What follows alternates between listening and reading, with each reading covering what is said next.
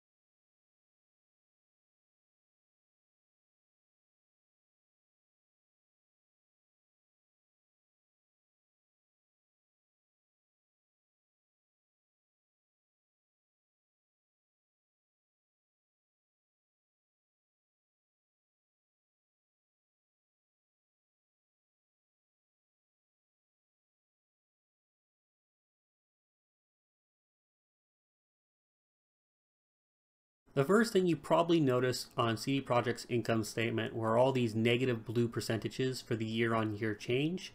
Now, these look bad, but in the grand scheme of things, they're to be expected. There were no major releases this year other than the public beta for Gwent, while in last year they had Blood and Wine and Witcher 3 Game of the Year edition come out.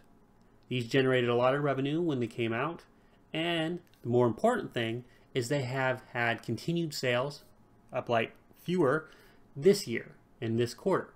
The fact that Witcher 3 Game of the Year edition keeps on selling is something that CD Projekt brags about. The Witcher franchise has this effect where it stays in the public consciousness and people keep buying it well after the game releases. Most games, they just fade in obscurity a month or two after their release. Witcher 3 stays in people's minds and people keep buying it. You add up all the bars of the quarters after its release together, you get a bar larger than the bar you get on its original release. The next thing to notice is that net profitability is up year on year for the three periods described on this income statement. The reason for this is that sales revenue has decreased slower than expenses have. This is not some stroke of genius by CD Projekt, but rather how the expenses work in relation to revenue in for video games. So if you think about how a video game, um, the cost related to a video game, the most notable two is marketing and development. Marketing really only happens in the month that a product is being released, and there's like not anything notable like a year later. For um, development, development was what we were talking about on the balance sheet earlier. It gets released as an accounting rule when the video game is released as well, and it just kind of all comes out during that quarter. Now it's a year later, we don't have any major releases, uh, those expenses are gone. And the revenue is still present. So the fact that you're still getting the revenue from the game while not having those two major costs present results in an increase in net profitability. Let's dive a little deeper into the income statement and look at GOG specifically. GOG is a subsidiary of uh, CD Projekt, and as a result, it has its income statement included alongside the consolidated financial statements. Um, it's important to Gwent because not only do PC players have to download it in order to play the game, but GOG um, handles things like matchmaking and player accounts. It has its own development team, and I believe it's responsible for the fact that we can play against people on the opposite side of the world seamlessly without having to change servers, uh, like you would have to on um, like Hearthstone if you wanted to play on the EU server, for instance. Uh, the thing that you're going to notice first is that all the year-on-year -year changes are positive, and the reason for this is Gwent.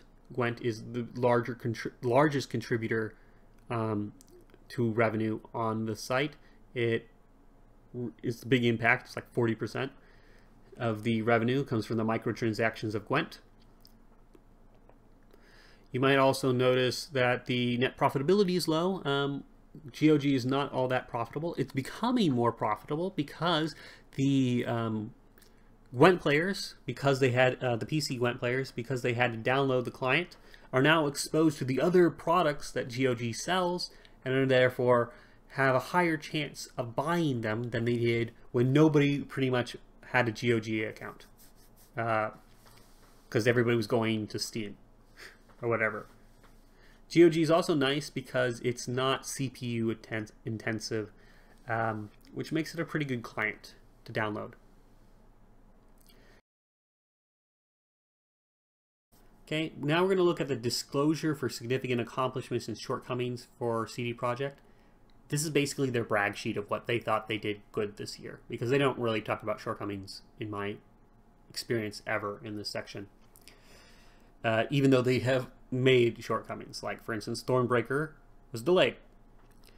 Um, they split it up into two sections, but most of it is CD Projekt Red, and CD Projekt Red is most of the company, so it makes sense. Uh, while they do mention Cyberpunk 2077 right here, they do not talk about it anymore in this section. So for those looking for news on Cyberpunk 2077, There isn't any. It's just mostly Gwent news. And none of this is really going to be new to people who've been paying attention, except because uh, they talk about the new things that added to the game, like streamlining matchmaking and player profiles, news, notifications, um, the starter pack for people, and starter pack is actually important for monetization, by the way. The Pro Ladder and the Gwent Master Series. The thing that people won't know is that they opened it up in the People's Republic of China and they have a closed beta there. China's going to follow a different schedule for their beta than we are, and we don't even know, I mean, the rest of the world is. We. um, and we don't even know if they're going to release as a full game at the same time we, um, the rest of the world does. The marketing events, they talk about the Gamescom Cologne, where they had the Gwent Open. On the Gwent Open, um, Shaggy is actually named by name in the financial statements, which, as an accountant, I think is a really great honor because I cannot I can't imagine any other company actually naming a player inside their financial statements. um, was the wild card entry and won the entire tournament. It was cool. Uh, they talk about how big the prize pool was. They had 900 media representatives and business partners attend uh, for the Gwent um, Thronebreaker and uh, the Gwent Masters reveal. You have to note that their partners are IGN, Twitch, Xbox, and Alienware. Um, also, kind of showcased their game. Uh, they have the Round of Gwent thing that's happening now that you guys can watch on their website, and they had other conventions. GOG uh, added a few games to their catalog. They're bragging about having Divinity Original Sin 2, which is a good game. Um, they had Hellblade and Cuphead, Cuphead and Hob last year, and this is an example of a shortcoming they didn't talk about, they had No Man's Sky was their big, look, we have that game. Aren't we amazing? It sold amazingly well. Problem is, that game was a huge flop. So the fact that you had it on your catalog, even though you knew it was already a flop by the time this financial statement came out, is troubling that you listed it as an accomplishment as opposed to a shortcoming. They have a way of kind of cropping out the shortcomings from the descriptions here. So if one of these games ended up being a flop, um, they wouldn't mention that here. They would just say this game sold well on release. Now we're going to look at the transcript for the conference call for their presentation. They had on their um, financials. For every time they release their financials, they have like a big, you know, presentation. The slides we saw earlier in this video come from that presentation. These are the same ones the investors saw. We're just going to skip down to the Q&A section. It's a transcript now because it was all done on phone. The first question they had comes from AR, who works for long-term PL, or Poland. They misspell it here. I'm going to go talk to uh, CD Projekt real quick. Hey, you guys need an editor you have misspellings in most of your like I run, I see them all the time in your English translations for both your presentations and your patch notes and just these kind of documents. I'll be your editor. My credentials, I edit some of the most difficult things to edit in existence amateur fan fiction. I'll move to Poland. I'll learn Polish. Hire me. I'll help you with these things. And that, if that's not enough, I'll also work as a data analyst. Okay, now let's return to these questions. So AR asked two questions. One's about dividend policy. The other one's about the approximate development budget for Cyberpunk. Real quick, the CEO answers that the they don't have a uh, dividend policy yet. The big dividend they gave earlier, not going to be a regular thing the approximate development budget for Cyberpunk going to be bigger than Witcher 3. That's to be expected. Even Poland is helping them pay for some of the stuff they're making in Cyberpunk 2077. Next question comes from Reuters. He asked follow-up questions about budget. Uh, the CEO can't answer any of them, not even the CFO. Uh, not, it's just their policy not to mention very specific stuff about this. Uh, next one is a hardball question from PS representing Rockbridge TFI. Uh, he asked about the 50 unfilled positions for Cyberpunk 2077. They're rapidly increasing the size of their teams. They talked about trying to have 800 employees. Uh, the CEO basically responds by um, saying that uh, they want to organically grow the company and their primary mode of expansion is large scale recruitment drives. Uh, the problem with this is that they're also hiring Westerners uh, outside of Poland, and Poland has a low cost of living compared to other countries like the United States. And if you hire somebody from the United States, uh, they're going to compare the salary they're going to get from CD Projekt and think that they're getting underpaid, and this this will increase uh, employee turnover. The other thing is if you employ, hire a bunch of people right away, instead uh, that means you have to hire some less qualified applicants. You want to have highly valuable employees for um, CD Projekt, and they do have really talented people working for CD Projekt. Some of the best people in the industry want to work for this company, especially in Poland. Um, but if you get less qualified people, not only um, you're going to have to have the infrastructure for the training, the HR, and all that stuff. And I'm not sure if uh, CD Projekt has developed that yet because they're increasing the size of their teams so fast. And this, a lot of this stuff is new for the company. Uh, another question they ask is about China. So, as I said earlier, China is going to have a different release schedule than the rest of the world. Um, part of this is that they have a local distributor handling things. Second is that that pretty much is most of it. Uh, they got into open beta. They're in closed beta right now, and they're going to have an open beta later. We might even be in full release for Gwent, and they still will be in open beta. I'm not sure if they're going to be able to play with the rest of the world uh, due to the way um, uh, China handles stuff.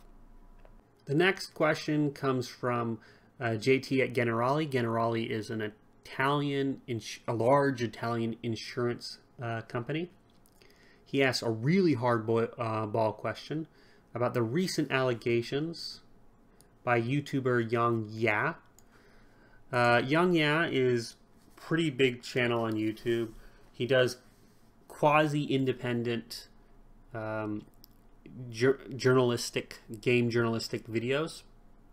I say quasi-independent because he's on Patreon, so by financial definition, I would say he's not independent.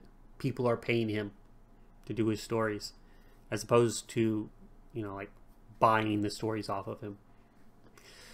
Uh, long story short, YongYea published three videos during the Q3 period, which the general gen uh, idea was not everything is right with CD Projekt, that they have um, petty um, office politics, and there's a lot of conflict with the development team over how things are gone, and things get scrapped, and there's a lot of employee turnover. But other than that, the game is the game company is great. They have great PR and they have great games. The first uh, video talks about Glassdoor reviews, and CD Projekt actually kind of responded to the video by talking about uh, like that the company isn't meant for everybody. Glassdoor had a lot of negative reviews, but remember Glassdoor was mostly people who aren't from Poland reviewing the company. The later videos corroborated um, the stories of former uh, CD Projekt employees to get a bigger, fuller picture. If you want to know the full extent of what the videos covered, look there. Uh, JT question brings up two specific allegations, one with key staff members leaving. We did have a key staff member leave for Gwent early on in production.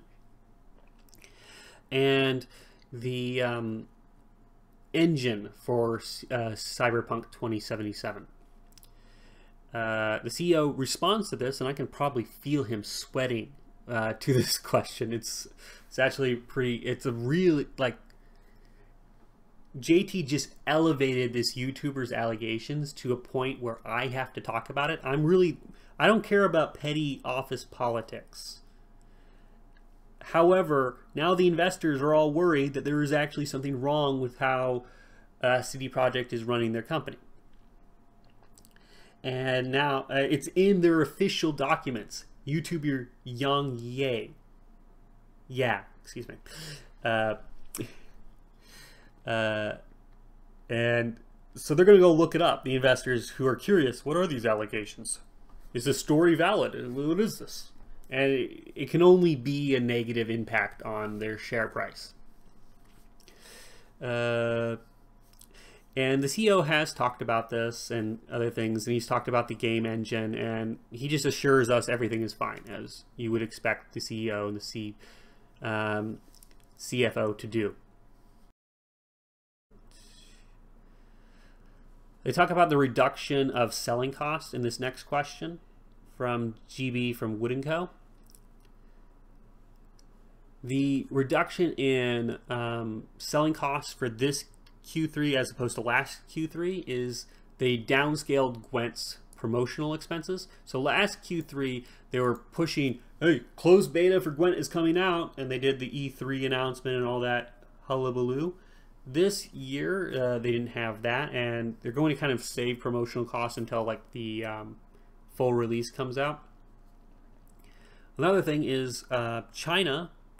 Uh, well, they say um, some of their promotion costs were uh, discounted by an agreement with our their foreign partners. This or refunded. Um, the partner I'm pretty sure that they're referring to is Gaia. Gaia is their partner in China. And uh, China has all these rules about who can do business in their country. Um, CD Projekt did some uh, conventions in China, like they release cards there and stuff like that, and they big announcements. And I can totally see uh, Gaia taking control of all the promotion in that country due to the you know like Chinese companies will do business in China kind of laws that they have that there. Uh, and that's why selling costs are lower. Marketing's being handled in by another party. Okay, that's the general gist there. It's actually kind of cool if you look into. It. This is another cool question. They talk um, PKO Securities, P, uh, PL representing that.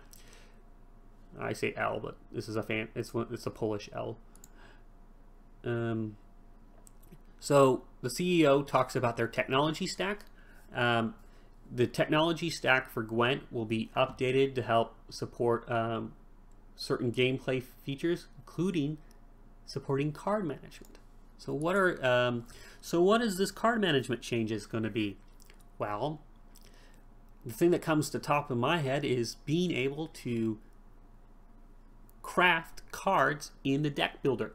I can really see the card collection screen and the deck builder changing dramatically before um, the re um, the full release of the game.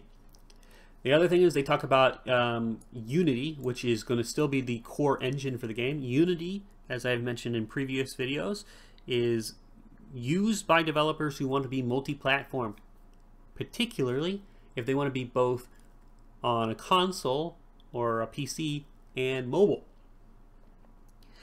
Now, it's hard to see Gwent on a mobile device in its current form, but it could take some changes in its design to make it more mobile friendly. And we can see some of that going to happen later.